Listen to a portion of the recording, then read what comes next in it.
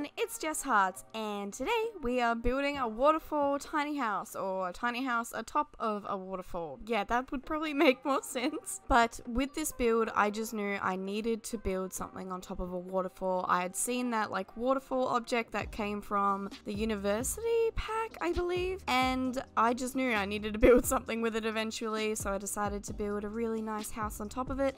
And believe it or not, but I had to cut out around five hours of footage because I ended up building three other separate houses on top of that damn waterfall because I could not figure out what I wanted to go atop of it and it was just a struggle and I finally got there and I'm pretty happy with how it looks. I ended up going with kind of a autumnal kind of theme for this build and I'm really liking those reds and warm tones like I know it's nowhere near like autumn where I am at the moment, but I'm just really in that kind of. I know, I went into a really big spooky mood the other night and I'm like, I'm just gonna listen and watch some horror crap. I don't know, just came all back, and I think Chilling Adventures of Sabrina Part 3 probably didn't help. I've been getting way back into it. No spoilers, please. I haven't actually gotten to the end yet, but I'm so excited to see what's in store. But yeah, I think that's probably why I went for that autumnal theme. But yeah, also, how has everyone been going? I've been doing really well actually. I'm a lot better than I was, and yeah, I'm just happy. I'm I'm feeling jovial and like kind of optimistic for the future, and I'm really really excited about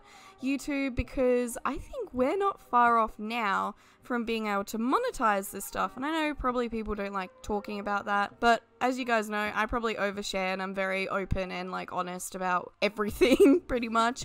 So yeah, that's big news. So go us, we're doing quite well. And I think we also reached 1,600 subscribers, which is so crazy. I'm so happy and just the big family is getting even bigger and it's just making me so excited for the future. So yeah, but how has everyone's week been? I think it's, what day is it even today? I think it's like Wednesday. Yeah, apparently there's meant to be a heat wave, which I just found out about. Not very keen. I totally wanted to go to the beach on Friday, but it turns out I have so much stuff going on that day. But the crappy thing about it is that I have to walk through the city all day, and I think it's meant to be around 36 degrees, and I'm not sure what that is in Fahrenheit, but it is really bloody hot where I am. I know everyone's like, oh, you're from Australia, it must be so warm. Like, I'm from Tasmania, the little island beneath it, so we're pretty cold most of the time. So when it gets hot, it gets very, very hot, and I think there's like a problem in our ozone layer, or over the ozone. I don't know how to explain it, but I just know that it gets very, very warm where we are. So yeah, unfortunately, I'm not going to be able to go to the beach, and I think I've been talking about wanting to go to the beach for years now. But other than that, I've had a pretty productive week. I've just been cleaning the house and doing all sorts of kind of productive things like that. I cleaned my room and organized my clothes. I put some clothing in a bag that I'd like to donate, and it just feels nice to kind of like cut back on clothing because I have a problem with buying clothing. What's it called? Like retail therapy kind of thing. Yeah, I've been doing a little bit of that, a bit too much of that, I might add. but yeah, at the end of this week, I shall be going to my friend's gig, or I guess mini concert kind of thing up in Hobart. And I found out yesterday from my sister that her partner or husband is also going, so I'm super excited. Um, my brother in law, like I just call him my brother, he is my brother. He's been my brother in law since I was a wee tot, so yeah, he's my brother. But we've been wanting to go to a metal gig since I was 10. Like, I've been wanting to go to a metal gig with him for so long now, and by chance, we just happen to be going to the same one. So, finally it's gonna happen so i'm super excited about that and i'm really excited to see my mates play because i hadn't seen them play in years so yeah i don't know. Has anyone ever gone to see like a gig or a concert? I love music so much and i just i think i prefer seeing it live just the whole vibe of it all it feels really really cool. Plus also the chance to catch up with friends and family is always nice. Oh yeah but earlier this week right i was walking home from my mum's work and she's only like oh, like 40 meters or 20 meters up the road from me, so it's not that far of a track. But when I was walking back, I saw that there was a backpacker outside my fence.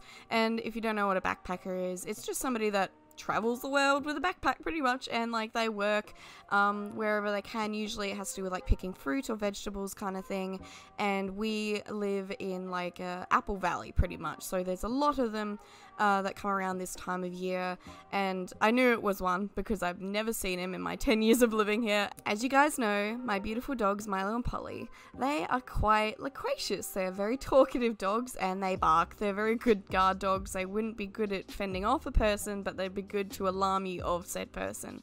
But anyway, they were barking at him, and instead of just like walking along and ignoring them, he like full on leant over the fence and started barking at them as I was walking up. And I was just like, mm, don't you dare talk back to my dogs. And I was just like, hey, uh, sorry about my dogs, like giving him that whole like passive aggressive kind of thing. And his face just dropped. And I'm like thinking to myself, I'm like, how insecure of a person would you have to be to sit there and bark at two tiny dogs when they're barking at you? Like, why, dude? Like, what are you doing? Like, just leave them alone? they're doing their job, they're dogs, they bark, you know, they're protecting the property. And I don't know, it just made me really angry unnecessarily because they're my babies and, you know, I like to protect them.